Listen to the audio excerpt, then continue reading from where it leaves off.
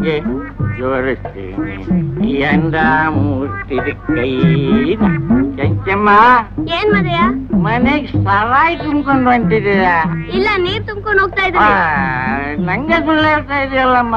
ತಾಯಿ ತುಂಬಿ ಹರಿತಾವಳೆ ನಂಗೆ ಬೇಕು. ಅರಿಯೋ ನೀರ್ ತುಂಬ್ಕೊಂಡು ಹೋಗ್ತಾ ಇದ್ದೀನಿ. ಸಾರಾಯಮ್ಮ ಇರು ನಂಗೆ ಬೇಕಮ್ಮ ಇರು. ಕೂತ್ಕೋ ಕೊಡ್ತೀನಿ ಕೂತ್ಕೋ ಕಳ್ತೀಯ? ಕೊ, ಕೊ. ಆ, ಏ, ಕೆಂಚಮ್ಮ ಏನೇ ಇದು? ನಿಮ್ಮ ಅಪ್ಪ ಸಾರಾಯ ಕೇಳ್ದ.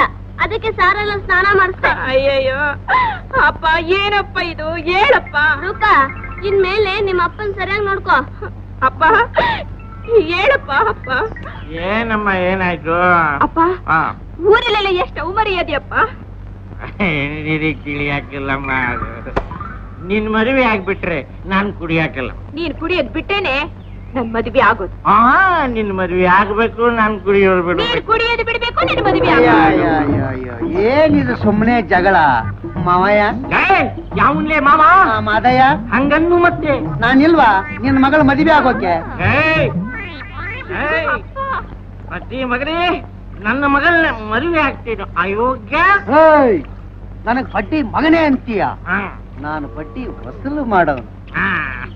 ನೀನು ಬಡ್ಡಿ ವಸೂಲಿಗೆ ಅಷ್ಟೇ ಲಾಯ್ಕ್ ನನ್ನ ಮಗ ಅಸಲಿಗಲ್ಲ. ರೂಪಾ ಆ? ಏನೇ ನಿಮ್ಮಪ್ಪ ಹಿಂಗಂತವನೇ? ಹಾ, ನಮ್ಮ ಅಪ್ಪ ಹೇಳುದು ಪೂರ್ತಿ ನಿಜ.